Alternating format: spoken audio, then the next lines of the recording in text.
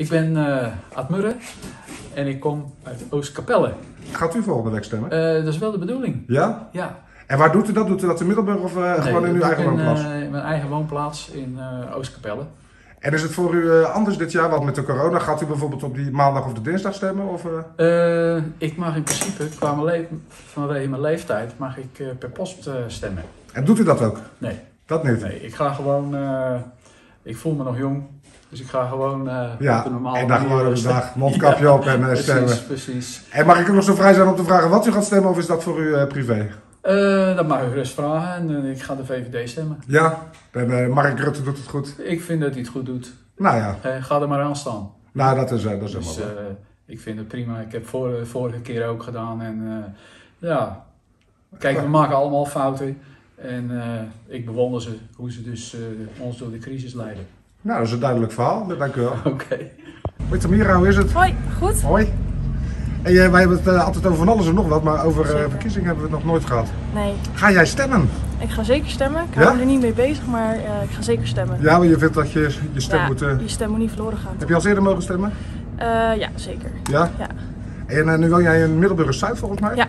Waar, waar ga je dan stemmen? Ga je dan, uh... Ik ga wel gewoon uh, stemmen bij de Zeeuwse Piep. Ja? Uh, ja, Middelburg. Dat is een goede plek. En ja. weet je, dit jaar mag je op drie dagen. Want ja. ze hebben natuurlijk voor de corona hebben ze ook. ga jij dan op de maandag de dinsdag of ga je op de echte stemdag de woensdag?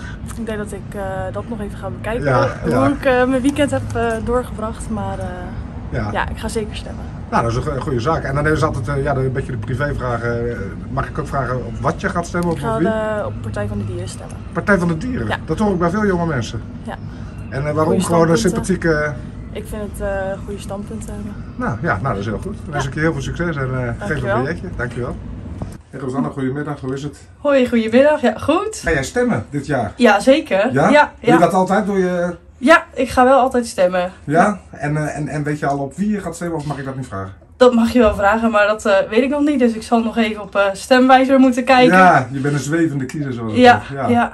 En weet je waar je gaat stemmen in Middelburg? Um, ja, ik denk bij de abdij. Ja, ja. ja want het, niet alles is maar open hè? Dus, nee, dus dat wordt...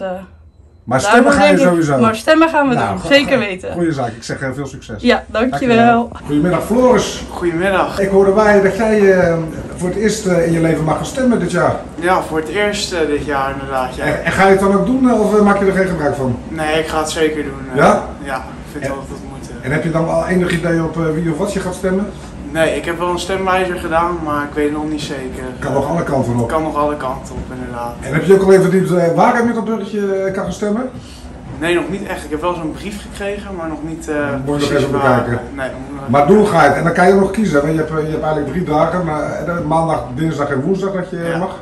Ga jij dan netjes op de woensdag? Of, uh... uh, ik heb eigenlijk nog geen idee. Ik weet niet wanneer ik moet werken. Nee, ik uh, denk dat ik gewoon op maandag ga eigenlijk. Kijken hoe het past. Ja. Nou, ik wens je veel succes. Bedankt voor ja, je toelichting. Top, dankjewel.